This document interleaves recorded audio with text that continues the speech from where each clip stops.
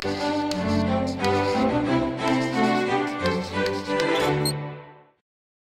brain stuff, it's me, Jonathan. You know, sometimes in a lull between events at CES, I'm digging a six foot hole in the middle of the desert outside Las Vegas, and I start to wonder, where are all the dead animals? You can probably guess that not every animal that dies leaves behind fossil evidence, but why is that? Just to get our terms straight, a fossil is any physical remnant left behind by an organism that died long ago. In many cases, fossils might only be things like preserved footprints or nest sites. But today, we're looking at direct remains of animal bodies, like bones. The likelihood that any particular animal body will become fossilized is amazingly small, way less than 1%. I mean, you might as well buy a lottery ticket. So let's look at the stations of the obstacle course to fossilization. First, there's body type.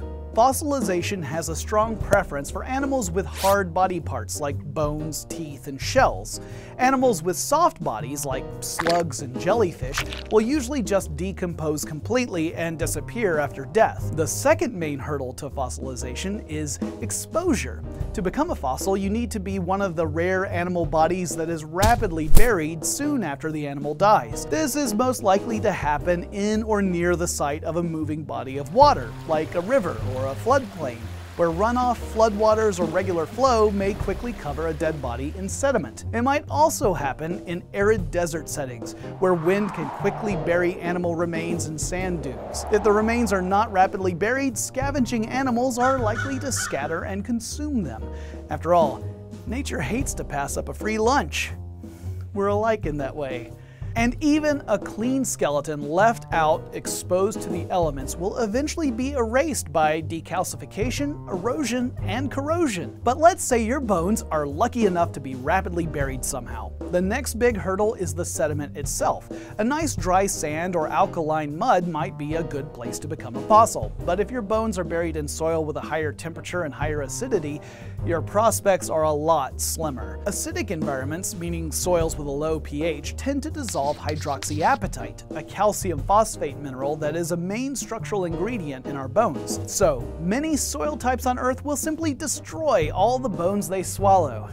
I'm counting on it. I kid. But even in friendly sediment, over a long enough period of time, bones can break down. The organic proteins in bones, like collagen, eventually decompose, and the inorganic minerals in bones can be crushed, dissolved, or otherwise destroyed by physical forces over the centuries. So, if you want your actual bone structure to survive, you have to be lucky enough to undergo a little transformation. Most really ancient bones we find, such as dinosaurs dinosaur bones aren't the unaltered original bones that were buried millions of years ago, but either minerally modified versions of those bones or stone photocopies. Two processes represent the majority of these cases, permineralization and replacement.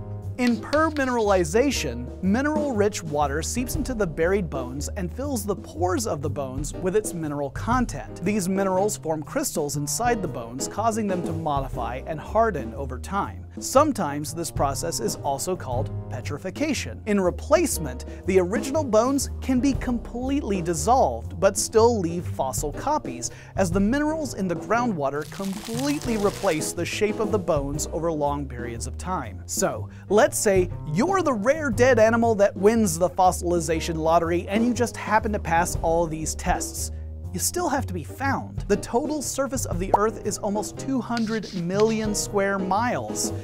And even for a guy like me, there's only so much time to dig.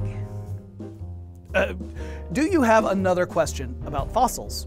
Let us know in the comments and we might be able to answer it in a future episode. If you like this video, hit the like button and subscribe to our channel so you never miss another video. And of course, if you want to learn more about dinosaurs, fossils, and, well, everything, head on over to howstuffworks.com.